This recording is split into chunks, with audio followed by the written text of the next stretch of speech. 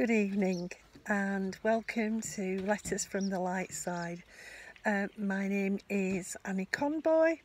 I'm a medium and psychic and this is my channel broadcast from my guides and inspirers on this lovely sunny evening um, and um, hopefully it will help make some sense of uh, the energy that we're in and what's been happening for you over the last week and what's likely to be coming up in the next week. Um, I'm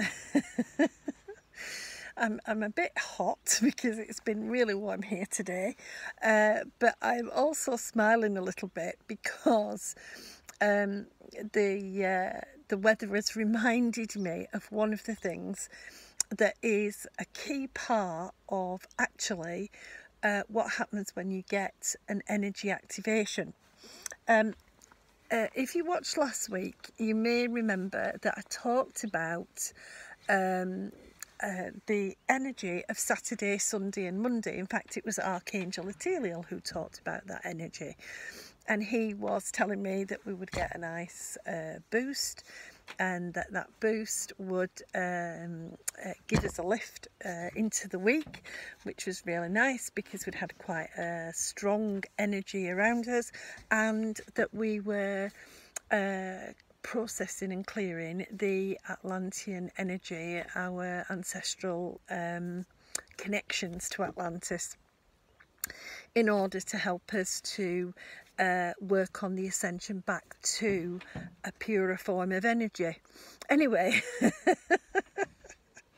you may have found yourself feeling a little bit discombobulated on Saturday, Sunday, or Monday because we didn't just get a nice flow of energy, we also got an activation. Um, so you might have felt like you weren't quite here or there you might have felt like you were still off on another planet somewhere, certainly not completely clicked into Mother Earth. Um, you might have found yourself um, a little bit uh, abstract, not quite, thoughts not quite flowing as normal, or a little bit slower to act. Um, and uh, you might have found that you suddenly got bombarded with even more uh, vivid dreams and that people people in those dreams were people that you knew in this life, maybe not around you now, but certainly people that you knew and recognised. Um, and this Atlantean activation is actually coming from the um, light codes that we need in order to process completely and finish uh, dealing with that energy. So it meant um, that it was a, a very uh, a strange boost. It, you might have found it, it, was positive. It felt positive, but it was felt strange. And you might also have felt rather hot. You might have felt a bit sniffly. Um, what what we're doing is opening the door within ourselves to help ourselves access that Atlantean wisdom, um, and access our intuitive abilities. So you might have found over this last few days that your intuition has been nagging, nagging, nagging, and that your um, uh, second guessing or your clear vision might have been really active. Um, you've had an activation in order to bring your psychic senses more online uh, bring them into your conscious mind and to allow you to use them.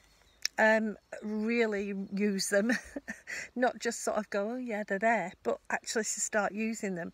Because what we are being given through this activation is the connection back to uh, the mission that we have, the, the kind of why we're here-ness of it, and to help us to deal with um, uh, putting our life into the kind of order or process that is right for us. Now, that doesn't mean everybody's going to do the same thing.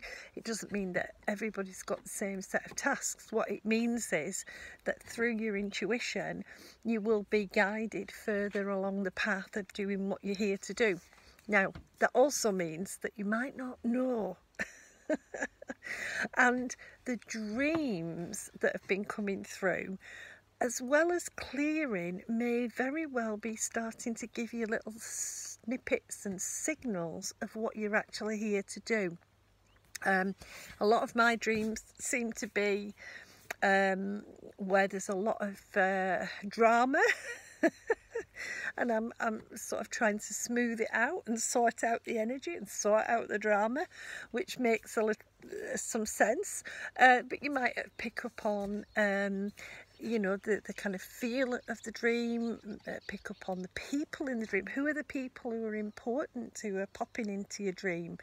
Um, you know, have, have they their part in your life brought things that you need to recognise and to uh, open up to about yourself. Um, you know, people aren't necessarily bad or good.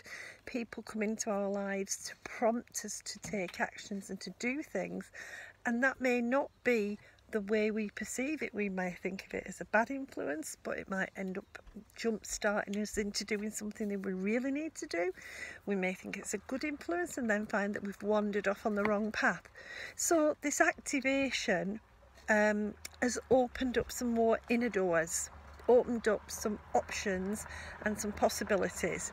And it's that that's really important to recognise about this and to let yourself just gently kind of get used to. Um, I'm very aware although Ray's here with me this evening, I'm very aware and I have been aware that I've been getting a lot of communication from um, a group of energy beings I call the collective. Uh, they are the architects who worked with the Earth's archangels in order to make this universe happen, in order to construct the Earth and to make this reality in the beginning. They're a very evolved, advanced uh, uh, beings and uh, they are uh, beings who understand conscious unity far more than the sort of dim edges of it that we're seeing at the moment.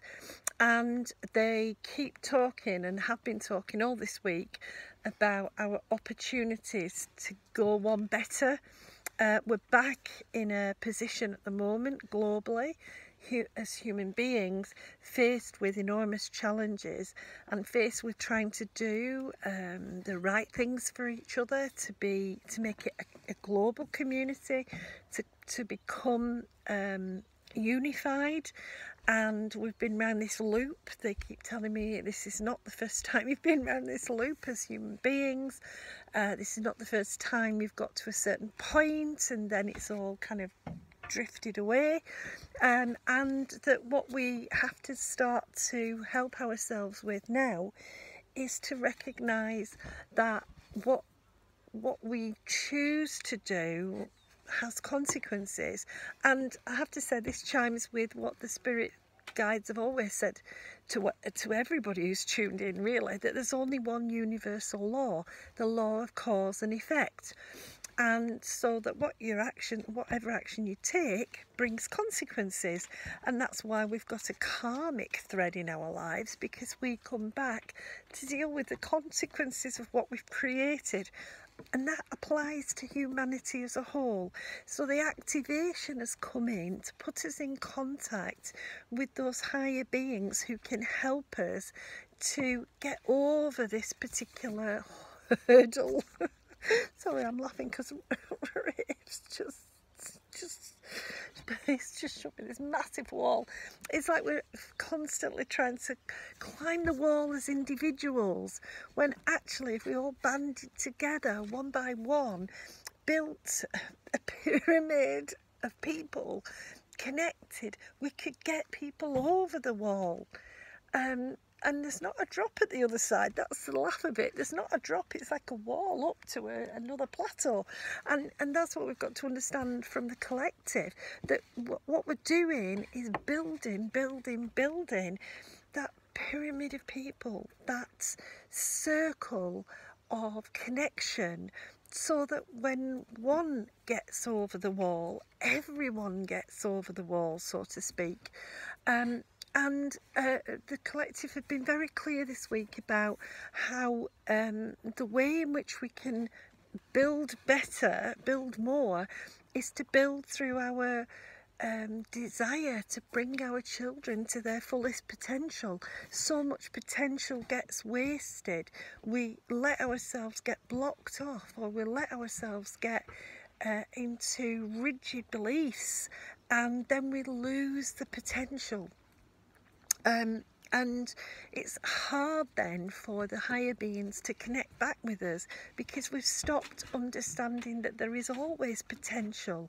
Um, we've stopped understanding that we need to allow ourselves the potential. And part of, of what the doors are opening is that really deep understanding of our own potential, of what we can achieve as individuals, and then what we can achieve at, at if we work together as a as a really concerted effort put ourselves together to help each other get over this next energetic lift.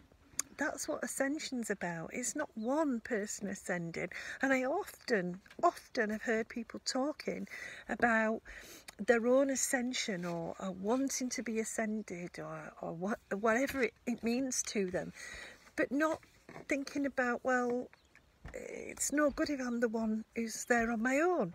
Um, that's just a personal thing. What what about everybody else? And um, and and that's the point for the collective. It's not about me. It's not about you. It's about everybody having the ability to get over this wall of energy, to get into better energy, and so much so we we can help everybody to bring their potential. We can inspire others to fulfill their potential, and they want to us to understand that although this is a tough month energetically and there's a lot of turbulence, uh, we're still being reminded about all of the things we need to change. That will not stop until we start those changes. There is no place any longer for sticking with it is what it is. We're in a place where now we have to say, right, okay, how do I get past that? Not only that, how do I help others to get past that? How do I help them to get out of the ways that they are currently limiting themselves? Help them to stop dividing themselves. We're divided because inwardly we're divided we're divided because as, as children young people, we weren't encouraged to grow into a whole rounded person. And that's true. Sorry, I'm just smiling away because um, that's one of the frustrations I had as a therapeutic counsellor, and I still do as a um, an intuitive mentor. You know, what can I give? What can I explain what can I share, what can I do, what action will work to help somebody to see that they've divided themselves and that they're they're equally loving and hating of themselves and it's not the balance I'm achieve, wanting them to achieve. The balance I want people to achieve is their wholeness and that can feel very hard and we can feel like we don't know how to do that. But we've got all this help. We've got the higher beings. We've got the collective. We've got the archangels. We've got all the intuitive spirit people. We've got all our loved ones. They're part of this process to stop humanity dragging itself back yet again we're on um, a cycle of, of almost getting there and then falling back almost getting there and then falling back. And that's what's really kind of, uh, in a way, holding us back is we're not seeing the future. We're not taking that that getting over the wall, getting over the the bump in ascension energy in so that we can really push ourselves forward. So I think it's really important uh, to acknowledge this activation, to um, you know look at, at yourself and recognise that yes, something's different this week than last week. Yes, something has changed, and and that whatever's changed, it doesn't really matter right now. It'll reveal itself in time, but take it as a sign of willingness to live to your full potential. To say, yeah, okay, well, all right, I might have bits of me I don't really like or I don't care for, but I'm going to take this as a sign that I can do more. I can do my part. I can be part of this movement to change our outcome.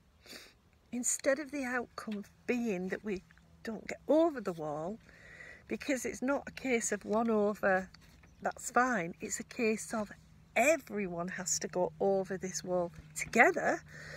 That's the point that the collective keep making. It's it's not about oh Annie can get over that wall or Fred can get over. It's about humanity rising enough to get over that wall together for us to understand that we are holding ourselves back, that our attitudes and beliefs about ourselves are influencing our attitudes and beliefs about others and therefore holding all of us back. Because they so want us to get over the wall, because what's over the wall actually is a hell of a lot better. It's back to more like the Atlantean times, where we do have a deeper, more compassionate, loving sense of each other and that we communicate that love and compassion and that we do things that help one another and that we're not vested in who owns what and who has more and who has less and who can speak and who can't that the division disappears so this week coming um, Rafe is, is saying that we still have turbulent energy, we still have fear. I wouldn't say fear and loathing. You know, loathing is what drives a lot. Loathing ourselves is turned outwards so that we loathe others.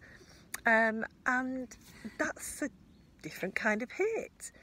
It, it's a, a, a, a, dismissal of others, a disrespect of others, a kind of you don't count or you don't matter uh, view of the world. And it's because we feel it in ourselves, for ourselves, uh, that it's coming to the surface to help us to deal with it.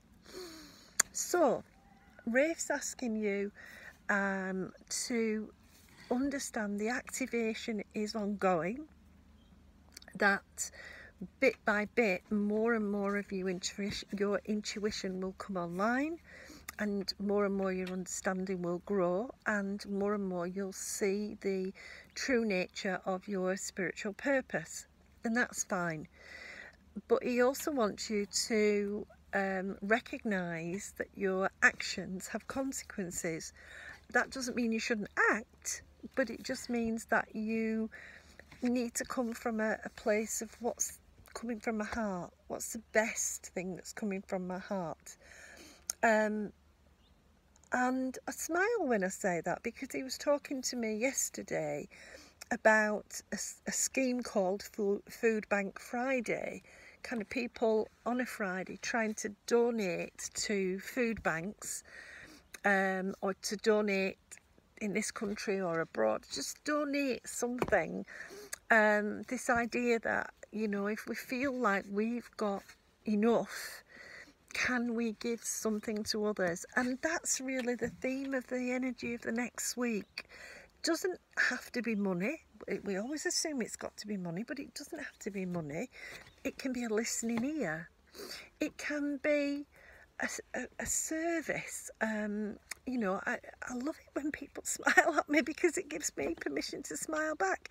And actually, it, I go and then smile at others and, and we spread the smile. Uh, it could be a thank you. It could be uh, giving somebody directions. It could be anything. We, we can give in so many uh, interesting ways but we can recognise that maybe we can give to those who right now aren't quite making it through life. Um, a listening ear to somebody who's got loneliness or some mental health issues could be really could be such a beautiful gift it might be four tins of Heinz baked beans in a in the supermarket box for the people who they donate to. Um, one of my favourites is a tin of cat food or a tin of dog food for um, the pets charities. You know, we, we can give so much when we start to recognise that we're all in the same boat, that we're all trying to climb this energy wall to bring about a new type of um, society, a new type of human experience. And so it's important in the next week to ride that wave of, of giving energy um, and to appreciate if someone gives to you. You know, we can't be givers if there are no receivers. Sorry, I'm laughing because Ray's just said we've all forgotten how to receive. and I have to admit, I I'm very often say, oh no no I'm fine I'm fine, and it's, it's sort of like oh no I can't receive. But of course I can receive. Of course I can give someone else the pleasure of giving freely.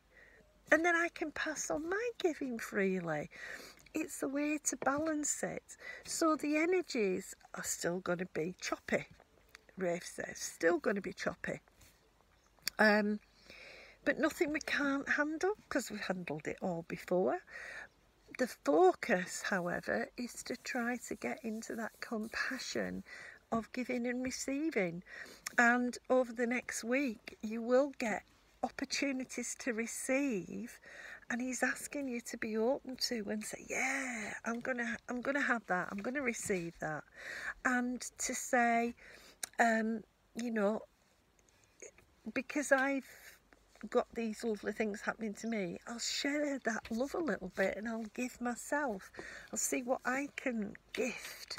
Um, I don't like taking things, he's laughing. I've got some bags for charity shops and of course over the last 18 months uh, charity has been hard because we haven't necessarily been able to give to uh, charities. But I've kept my bags on one side because I don't want to give the, throw them in the tip. I don't want to waste those precious resources that went into whatever it is that I'm giving. Um, and that's the lovely thing about activating the Atlantean consciousness and the ascension consciousness is that we start to value what what we've got in a different way. And we start to recognize that actually we we use we consume an awful lot and then we chuck it away and really all that energy gets wasted so we can reuse and repurpose that energy and we can use our charity shops we can take a good look around and think, right, okay, well, I won't get rid of that. I'll see what other use I can find for it. We can do these kind of things. Um, that's a loving energy, a positive energy. And Ray says it's very, very much around next week. Despite all of the turbulence, we've still got so much going on on a world stage. We've still got so much kerfuffle um, about how we should deal with COVID, um, how how we work as a globe rather than as individuals or even individual countries. Um, and there's more of that. I almost want to say, and I shouldn't really. I almost want to say more of the same next week. Um, you know, we we we are making or people are making decisions and maybe not looking at cause and effect. And we have to think about that for ourselves individually, as, a, as communities and as countries and as a global community. How do we find a way through this that is better, that doesn't have a heavy price? And, uh, you know, so there's still a lot of debate going on. Sorry, I'm laughing because um, I've ha been having those kind of debates with Rafe and sort of throwing up my hands and saying, but you know, how do we, how do we, um, as as people, how do we deal with these really challenging um, issues that put us all having to think not just individually but collectively? And how do we balance out people's rights and responsibilities? And it's a huge ethical question. It always will be at the moment because we haven't got over the wall. Once we've got over the wall it's not going to be an issue. I am reliably informed however what I would encourage you to do is give to yourself next week as well as give to others. Remember, you are worthy, you are valuable, you are important enough to make sure that you give to yourself the time, the energy, the love, the support that you need. And remember, if you can give that to you, you can then take the opportunity to give it to others and to share the love. Uh, thank you everybody who's been watching. It's lovely to see your names popping up. Um, there's uh, because I'm not I'm not live streaming to YouTube tonight, but the the video will go up on YouTube if anybody wants to catch it on my YouTube channel. Other than that, uh, enjoy the sunshine. Apparently, it's going to be really nice for a bit longer. enjoy the sunshine. Enjoy the activation and remember to let yourself be steered by that intuitive heart. Do what you feel is right in your heart. The head, it weighs it up and sometimes gets it wrong. The heart never does. Take care, everyone, and I'll see you next week. Bye.